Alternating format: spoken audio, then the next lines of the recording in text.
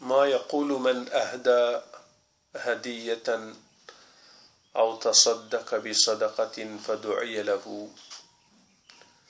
عن عائشة رضي الله عنها قالت وهديت لرسول الله صلى الله عليه وسلم شاة.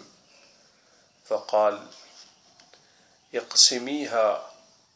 وكانت عائشة رضي الله عنها إذا رجع الخادم تقول ماذا قالوا؟